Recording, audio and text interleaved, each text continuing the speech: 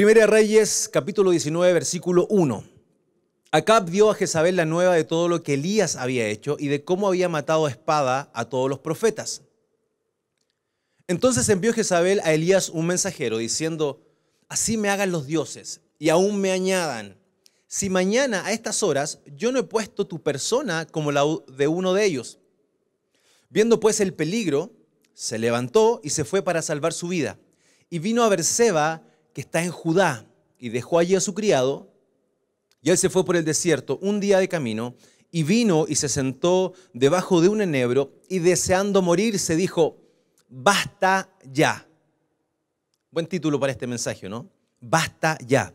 Oh Jehová, quítame la vida, pues no soy yo mejor que mis padres. Y echándose debajo del enebro, se quedó dormido, y aquí luego un ángel le tocó y le dijo, levántate, come. Entonces él miró y aquí en su cabecera una torta cocida sobre las ascuas y una vasija de agua. Y comió y bebió y volvió a dormirse. Y volviendo el ángel de Jehová la segunda vez lo tocó diciendo, levántate, come, porque el largo camino te resta. Y el último verso que vamos a leer esta mañana, se levantó pues y comió y bebió y fortalecido con aquella comida, caminó 40 días y 40 noches hasta Oreb, el monte el monte de Dios. Me gustó el título, basta, basta ya. Y, me encanta porque quiero contextualizar un poquito esta historia.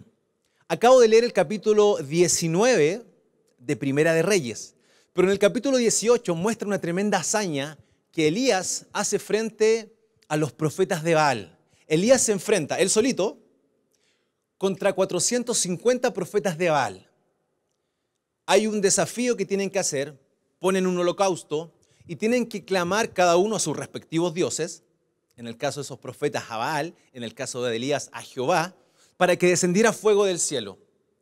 Primero parten ellos, los 450 profetas, comienzan a clamar a Baal al punto de que comenzaron a cortarse, empezaron a hacer de todo lo que se le ocurrió para que Baal pudiera enviar fuego del cielo. Eh, eh, me, gusta mucho también ahí el, carácter de, Elías y quiero puntualizarlo porque nos va a servir también para el mensaje. Eh, Elías fue hasta irónico. Le dijo, clamen más fuerte, quizás Baal está dormido. O sea, le hizo una especie de bullying Elías a los profetas. Mostraba una seguridad, mostraba la fe de un hombre. ¿Y qué ocurrió? No pudieron. Resulta que por más que clamaron, Baal no, descendió, no hizo descender fuego del cielo pero cuando clamó Elías a Jehová, fuego consumió el altar. Fue impresionante, todos creyeron. Y no contento con haberlos humillado, Él los manda a matar. Quiero que los maten a todos. Entonces en el capítulo 19 cuentan lo que pasó al otro día. Dice que Jezabel, en ese tiempo reinaba Jezabel, escuchó lo que había pasado. Ella había sido eh, pieza fundamental en, en todo el protagonismo que habían tenido los profetas de Baal. Y dice, mándenle un mensaje a Elías. Díganle que mañana a esta misma hora lo voy a matar. Se lo prometo, así va a ser. Y dice Elías, y dice la palabra que Elías se fue para salvar su vida. Pero llegó a Berseba, o sea, él salió escapando, salió arrancando. Pero llegó a Berseba, dejó a su criado y se fue solo un día de camino por el desierto.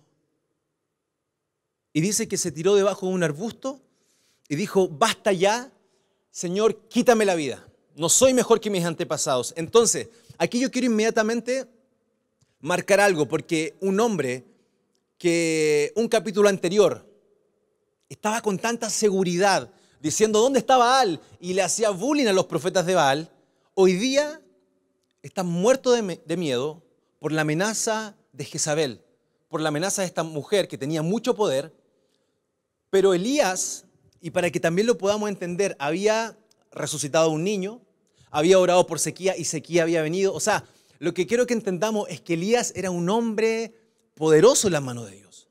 Era un hombre de fe. Pero llega un momento en la vida de, un hombre en, cual, en el cual él dice, basta ya. Partió para cuidar su vida, partió para librarse de la muerte, pero él en un momento deseó morir y se dijo, basta ya. Yo no sé cuántos se han sentido así.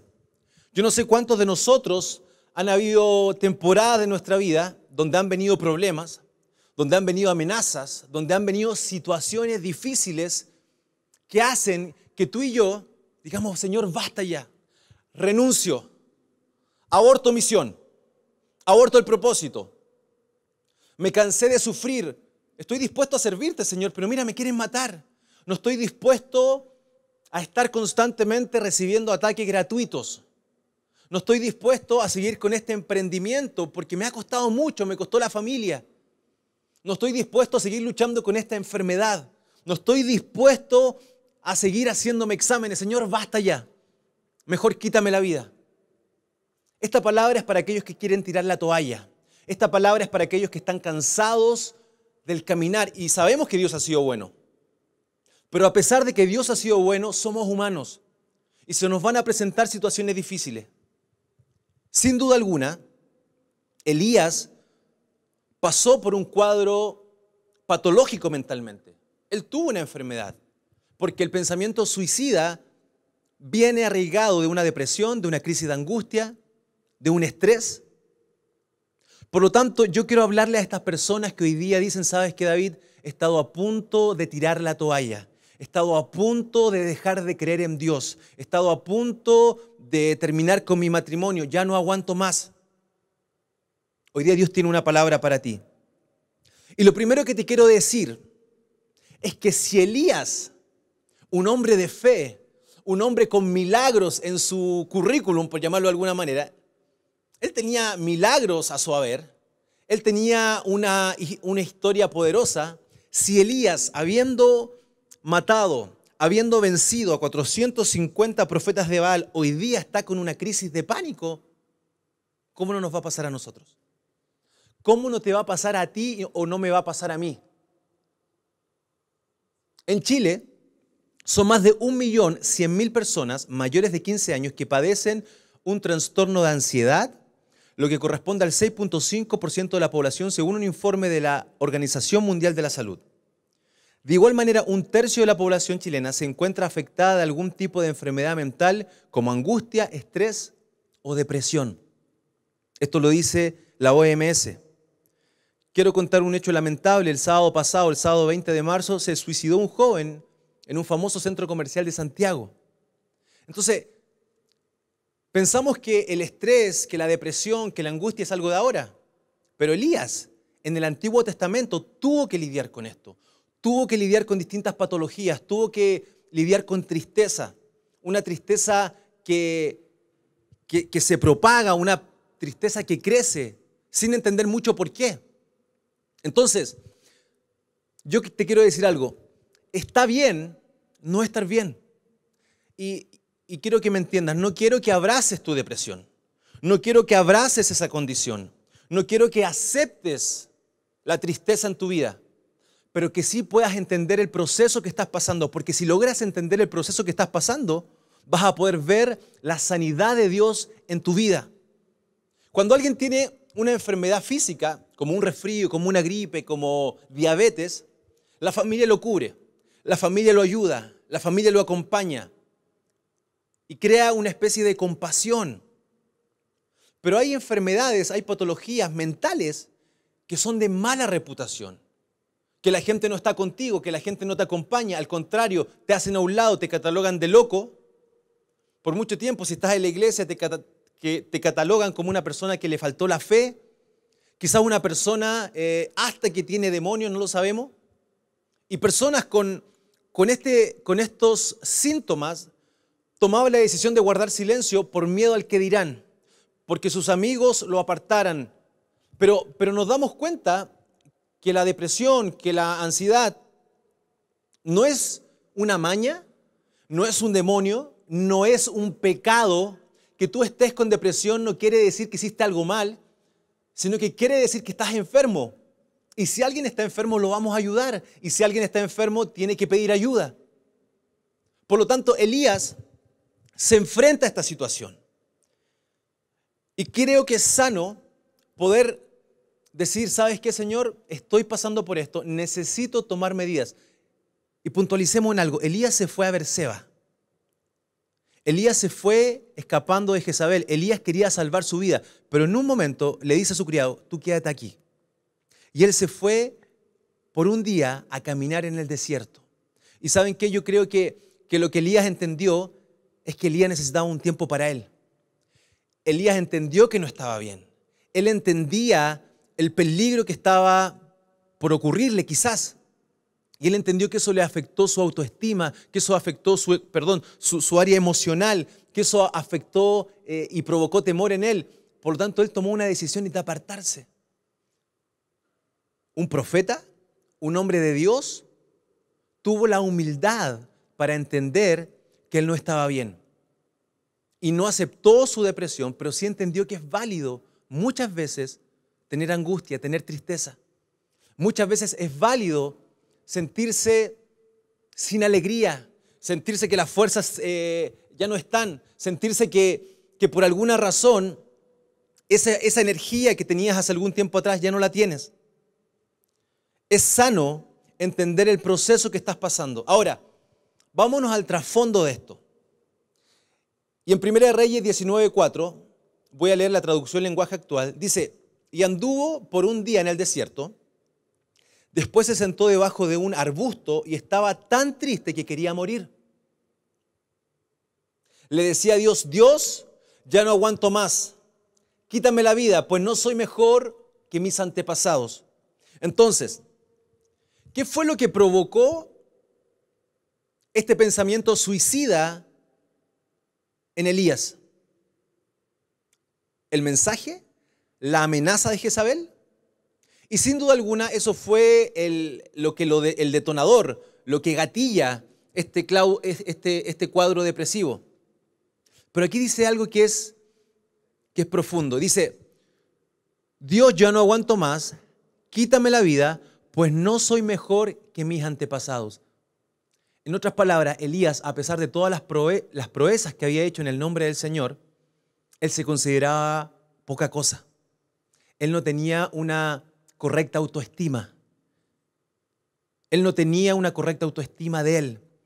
Él pensaba que no era apto, él pensaba que no era capaz. Entonces, ¿Qué comienza a hacer él? Él comienza a compararse. No soy mejor que mis antepasados. La pregunta que yo le haría a Elías y que yo te hago a ti, ¿quién te dijo que tenías que ser igual que, tus antepasados? ¿Quién te enseñó a compararte con el resto? El tema es que el pasto del vecino siempre es más, eh, más verde. Y cuando nos enfocamos en lo que tienen los otros, vamos a perder el foco de quién soy, voy a perder el foco de lo que tengo y voy a perder el foco de lo que he logrado. Yo no entiendo cómo alguien con los resultados que tenía Elías pudo decir, no soy mejor que mis antepasados. Cómo alguien con el tremendo currículum espiritual que tenía Elías, con la tremenda autoridad de Dios que estaba en Elías, pudo decir algo como eso. No soy mejor que mis antepasados, quítame la vida. Cuando comenzamos a compararnos, comenzamos a ponernos en un molde, un molde que Dios no diseñó para ti. Dios puso en ti cualidades, dones, talentos específicos. Y si bien podemos, como dice su palabra, imitar la fe de nuestros pastores, como dijo Pablo, sed imitador de mí como yo de Cristo, pero tenemos que poner el énfasis en lo que somos, en lo que tenemos y en lo que hemos logrado. Pero es que David no, no, no ha logrado mucho, por muy poco que sea. Si tú no tienes la capacidad de reconocer lo que Dios ha hecho en tu vida, vas a vivir frustrado, vas a vivir comparándote con el resto. Cuando Dios hoy día te dice, Elías, eres un campeón. Elías, todo lo que he hecho por tu mano. Elías, mataste 450 profetas de Baal. Antes de matarlos los humillaste en mi nombre. Lograste que fuego cayera del cielo. Por lo tanto, ¿cómo puedes menospreciarte tanto? Y la Biblia es clara. No podemos tener un mayor concepto de nosotros que el que debemos tener pero no nos podemos menospreciar. Hemos confundido la humildad con menosprecio. Es que yo soy humilde. Es que yo no, soy mejor que mis antepasados. Elías, hay algo de Dios en ti. Hay un poder de Dios en ti. Hay una gracia de Dios en ti. Y quizás no vas a poder trabajar como uno de tus compañeros de trabajo, pero nadie tiene el liderazgo que tienes tú. Nadie tiene el potencial de emprendimiento que tienes tú. Deja de mirar a tus antepasados, deja de compararte con otros y pon tu mirada en lo que Dios te entregó a ti. Comienza a apreciar tu familia, tu trabajo, tus dones, tus talentos, quién eres, lo que has logrado. Elías, eres una máquina. Elías, eres bueno. Elías, no te menosprecies. Entiende lo que Dios ha puesto en tu vida. Ahora, quiero hablar de tres cosas que debemos poner en práctica. La primera y la segunda ya te la dije. Primero, no aceptes tu condición, no aceptes ese desánimo, pero sí entiéndelo. Es válido estar mal. Número dos, ten una correcta autoestima de quién tú eres y de lo que Dios ha puesto en ti. Y antes de pasar a la número tres, yo quiero mostrarte tres cosas que Dios hace con Elías. Y esto me encanta.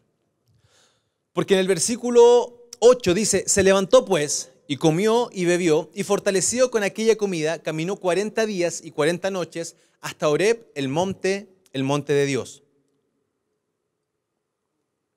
Salud muchachos. Se levantó pues y comió y bebió y fortaleció con aquella comida, caminó 40 días y 40 noches hasta el monte de Dios. ¿Qué es lo primero que Dios hace? Dios te cuida. Mire, mire, entendamos algo. Y esto está antes de este versículo. Él se duerme muerto de miedo, Elías, porque tiene una amenaza. Le dijeron que lo iban a matar. Le dijeron, para mañana vas a estar muerto. Y ya había pasado un día, o sea, el plazo se cumplió. Quizás él pensó que cuando despertara iba a estar rodeado por soldados de Jezabel. Quizás él pensó que, que cuando despertara iba a tener una espada o una lanza en su cuello. Pero cuando Elías despierta, ¿saben con quién se encontró? Se encontró con un ángel que le llevó un desayuno a la cama. Le llevó una torta cocida y una vasija de agua. Y, esto, y esto me encanta porque, porque me muestra el amor de Dios para cada uno de nosotros. Dios no mandó a su ángel para castigarlo porque hoy día estaba sufriendo. No le dijo, oye Elías, ¿cómo se te ocurre querer matarte? Si eres un profeta de Dios, si eres un hombre de Dios, ¿cómo se te ocurre? Que, ¿Cómo puede ser que esos pensamientos se pasen por tu mente? El ángel no vino con esa actitud. El ángel no vino a castigarlo. El ángel no vino a recriminarlo. El ángel vino a cuidarlo. Dios, en medio de tu aflicción y en medio de ese desierto, Dios te va a mostrar su amor.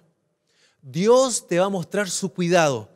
Dios te va a mostrar ese desayuno a la cama. No hay nada más rico que te lleven un desayuno a la cama.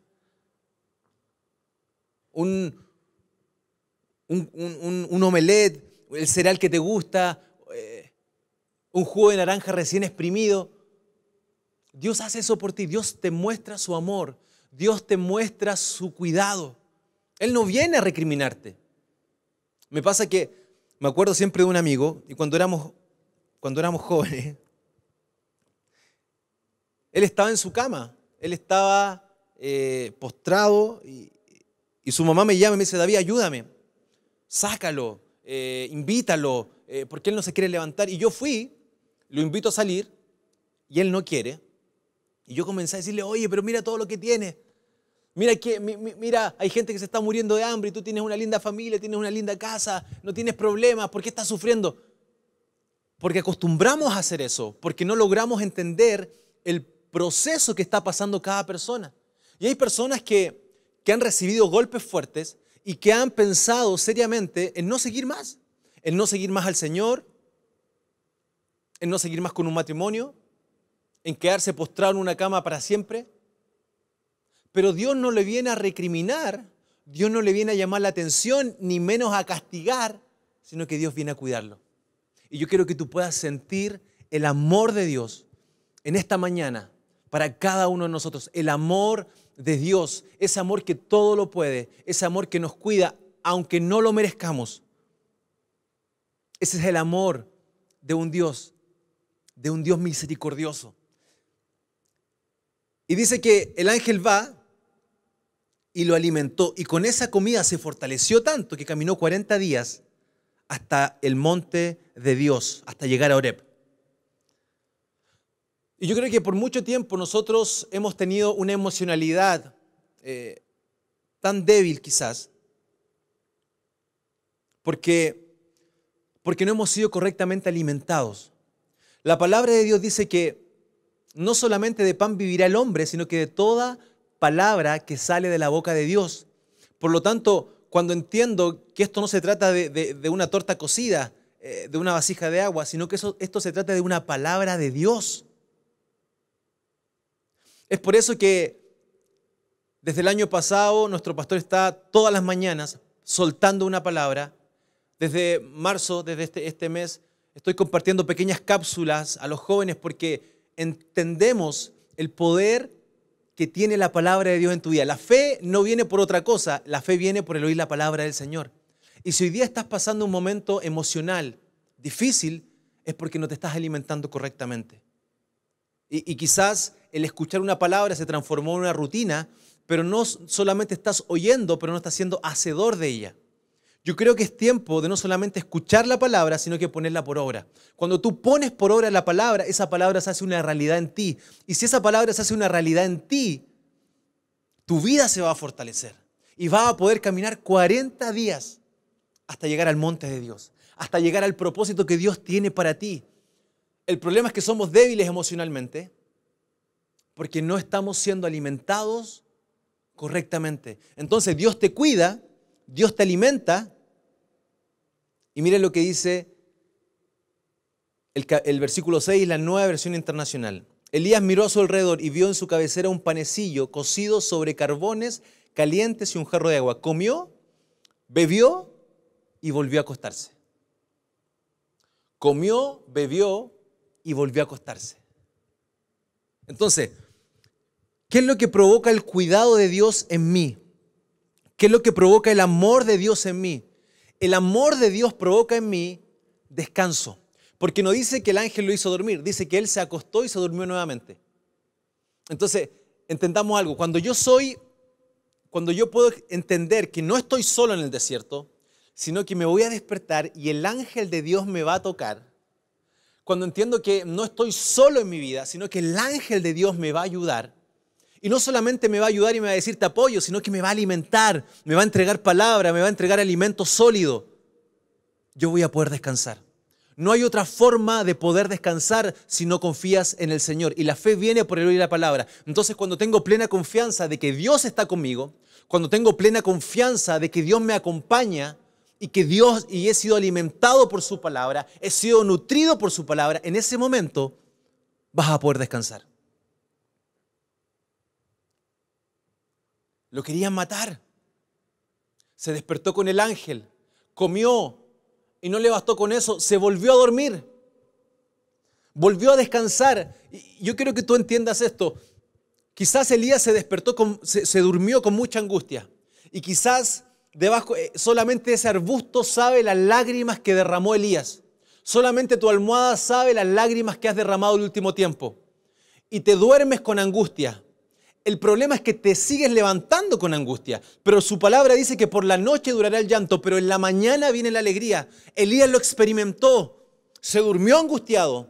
Se durmió con crisis de pánico. Pero cuando despertó, no estaba el ejército de Jezabel para matarlo. Cuando se, levantó, se le apareció Dios. Y yo no sé cuánta gente puede hoy día llenar las redes sociales de fe y pueden decir, se me apareció Dios en medio de mi desierto, se me apareció Dios. En medio de mi, angustia, se me apareció Dios. Solamente por la noche dura el llanto, pero en la mañana viene la alegría y mientras tú estás descansando, hay un Dios que no duerme, sino que está trabajando en favor tuyo, que está trabajando en favor de tu familia. Salmo 121, 4 dice, He aquí no se adormecerá ni dormirá el que guarda a Israel. Tú puedes dormir, pero hay uno que no duerme, hay uno que está trabajando. Y, mañana cuando te despiertes, día lunes, una nueva semana, nuevos desafíos, nuevas amenazas. En ese momento vas a poder entender y ver y experimentar el amor de Dios, este desayuno a la cama, cómo Dios te cuida, vas a abrir tus ojos y la primera llamada no va a ser otro problema, no va a ser Jezabel, la primera llamada va a ser una puerta que Dios te va a abrir. Yo no sé a qué le estoy hablando, pero quiero declarar esta palabra sobre tu vida. Mientras tú estés durmiendo, Dios va a estar trabajando. Es que se te apareció Dios. ¿Cuántos pueden decir en medio de mi enfermedad se me apareció Dios? Pone el problema que estás pasando. En medio de mi divorcio se me apareció Dios en medio de mi crisis, se me apareció Dios.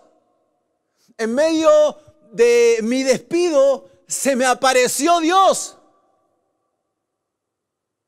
Hoy día quiero que el chat de YouTube, que los comentarios de Facebook se llenen de fe, porque hay una iglesia que a pesar del problema está creyendo, que a pesar de la amenaza de Jezabel está creyendo, que a pesar de lo que te dijeron que te iba a pasar, estás creyendo, estás avanzando. Estás confiando, no se te apareció un demonio, no se te apareció otro problema, se te apareció Dios.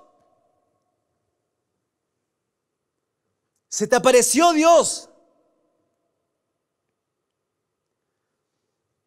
Y dije que me faltaba un tercer punto de lo que nosotros tenemos que hacer.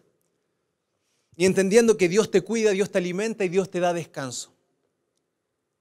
Y cuando Dios te da estas cosas, hay algo que tú también tienes que hacer. Y quiero que me escuches, por favor. Primera Reyes 19.8 dice, se levantó pues. Se levantó. ¿Quién se levantó? ¿El ángel? ¿Quién se levantó? Dios. Se levantó Elías.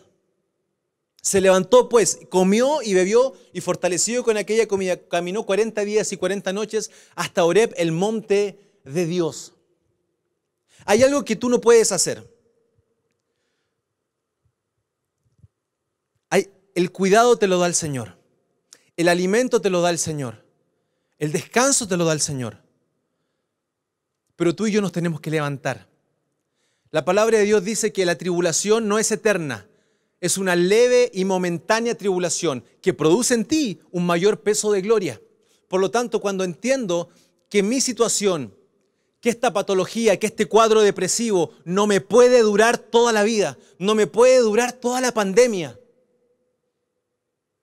esta leve y momentánea tribulación. Podemos estar en tribulación, pero no te acostumbres a vivir en tribulación, pero no habites en medio de la depresión. El valle se pasa, aunque ande en valle de sombra y de muerte. No dice aunque habite en el valle de sombra y de muerte. No, dice estacionate en el valle de sombra y de muerte. Dice aunque ande. Es un trayecto, es un paso, es leve, es momentáneo. Y va a producir en ti un mayor peso de gloria. Y va a producir en ti mayores capacidades. Por favor, no te acostumbres a vivir en esa situación. En algún momento nos tenemos que levantar. Iglesia, en algún momento nos tenemos que poner de pie. En algún momento tengo que comenzar a creer en las promesas que Dios ha diseñado para mí. Y si me acompañan en el piano, por favor. Se levantó. Dios te alimenta, Dios te bendice, pero el que se tiene que levantar eres tú. David, es que tú no sabes lo que estoy pasando. Lo, mío no es una depresión cualquiera. He tenido pensamientos suicidas. Eh, mi desánimo ya es crónico. David, tú no sabes lo que me pasó. Eh, levántate. Si Dios te va a alimentar. No te vas a, a parar en tus fuerzas. Te vas a parar y te vas a levantar basado en lo que Dios está haciendo en favor de tu vida basado en lo que Dios está haciendo en favor de tu vida, Él te va a dar las mejores, mejores noches. Noches que por años no has podido tener. Dios te las va a dar. Dios te las va a entregar. Y por mucho tiempo no querías que llegara la noche porque decías, voy a sufrir. Voy a llorar y solamente mi almohada, solamente mi cama sabe la angustia que estoy pasando. No quiero que llegue la noche porque o, o voy a soñar pesadillas, o voy a dormir a saltos, o, y no puedo descansar. Elías fue despertado por el ángel. Comió, bebió y volvió a acostarse. Dios te va a dar descanso. Y después el ángel lo tocó nuevamente y le dijo, levántate. Y Elías se levantó. El hombre de Dios fue vuelto a activar. El hombre de Dios volvió a su esencia, se levantó hey, largo camino te resta, no me importa. porque estoy fortalecido. Hey, no hay garantías del viaje. No me importa porque estoy fortalecido. Yo voy a llegar a Oreb. Yo voy a llegar al monte de Dios. No importa los errores, no importa eh, lo que pasaste, no importa lo que te hicieron, no importa el daño. Yo voy a llegar al monte de Dios. Tú vas a llegar al monte de Dios. Es tiempo de rebelarte, no en contra de Dios, no en contra de la autoridad.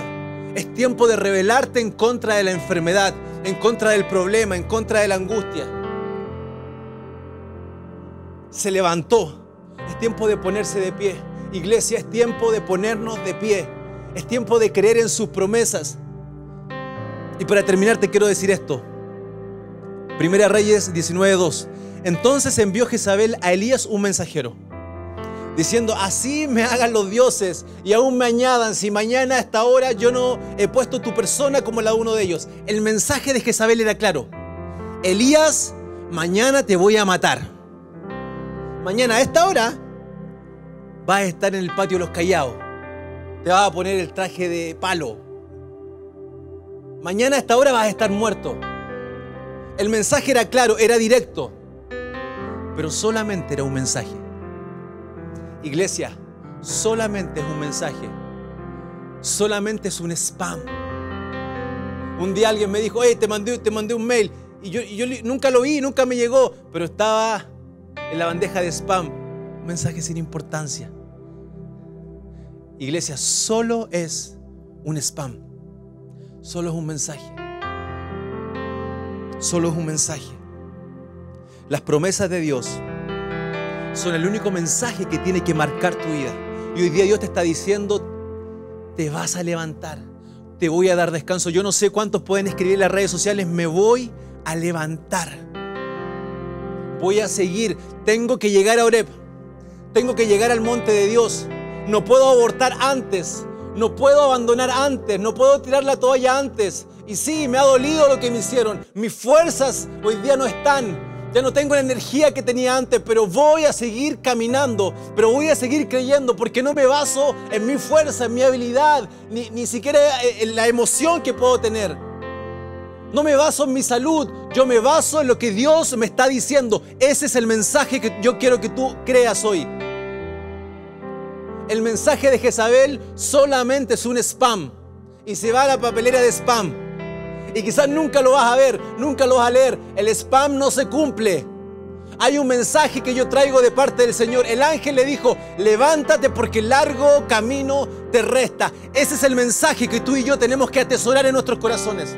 Ese es el mensaje que tú y yo tenemos que creer. Largo camino te resta. Familia, largo camino te resta. Se me apareció Dios ¿Dónde se me apareció? En la iglesia, se me apareció en el desierto, en el lugar que era el lugar diseñado para mi muerte, se transformó en el lugar de mi mayor bendición. En el lugar de mi angustia, se me apareció Dios con un desayuno a la cama. En el lugar de mi escasez, se me apareció Dios para alimentarme. En el lugar de mi depresión, se me apareció Dios y me dio descanso y me dio paz. Se me apareció Dios. Se me apareció Dios. Dios se te va a aparecer.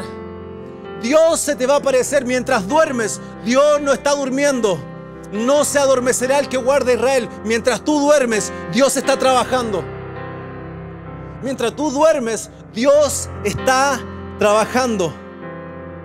Salmo 94, 19, traducción del lenguaje actual dice, en medio de mis angustias y grandes preocupaciones, tú me diste consuelo y alegría. En medio de mis angustias y grandes preocupaciones, no dice grandes problemas, dice grandes preocupaciones.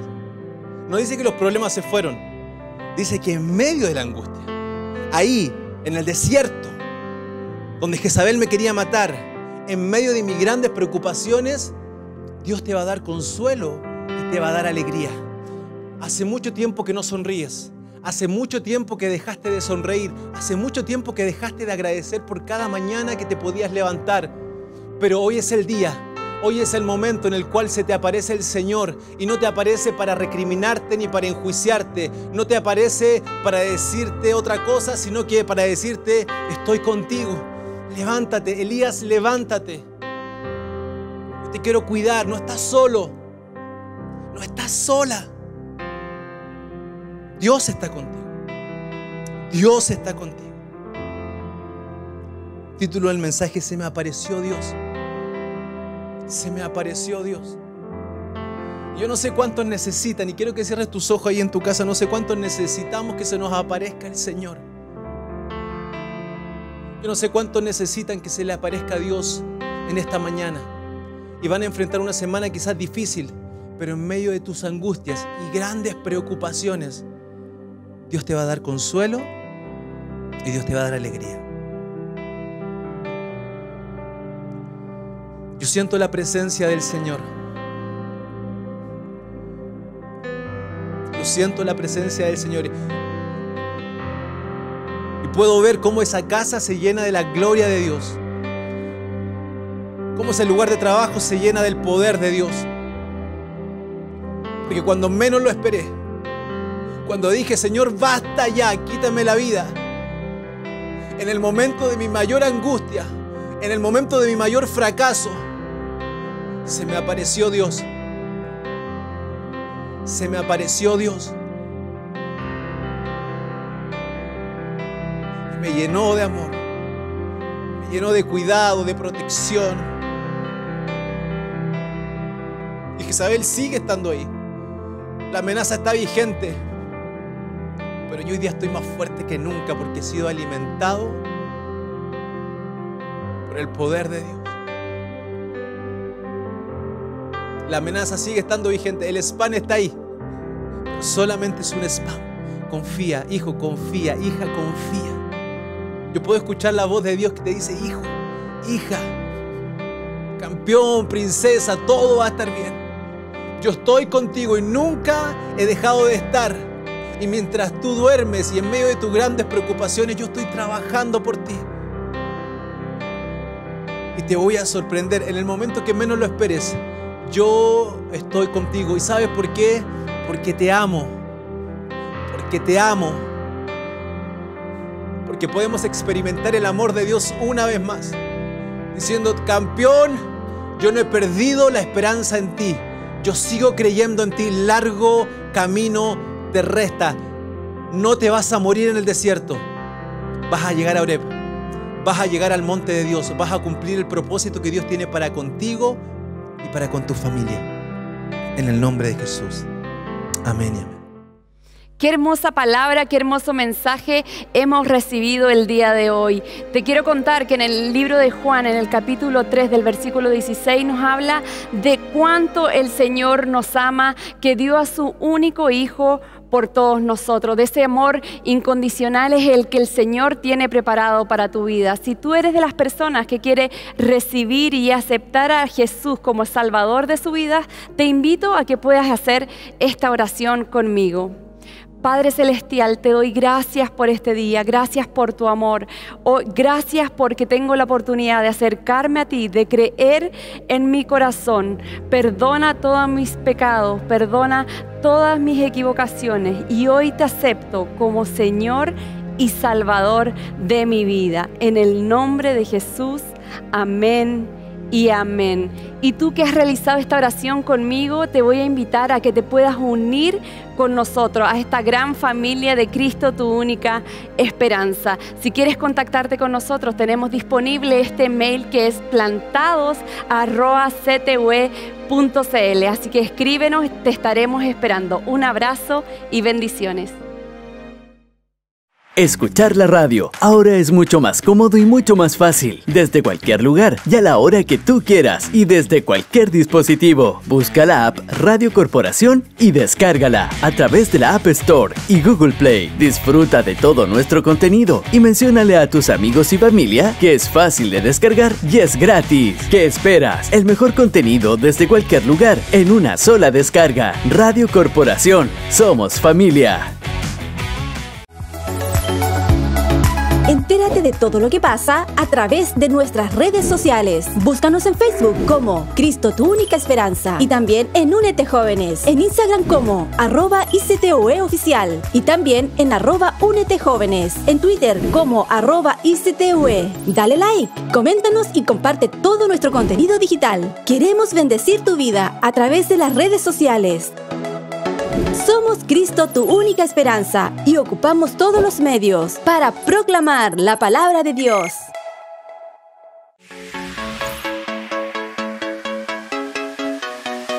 En Iglesia Cristo tu única esperanza, ahora sigues conectado con nosotros, donde quiera que te encuentres. Suscríbete a nuestro podcast, Cristo tu única esperanza y únete, a través de Apple Music y Spotify. Nos puedes escuchar en tu trabajo, en tu casa, en todo momento y en cualquier lugar y puedes disfrutar de todos nuestros contenidos. Somos Iglesia, Cristo, tu única esperanza, a través de las plataformas digitales.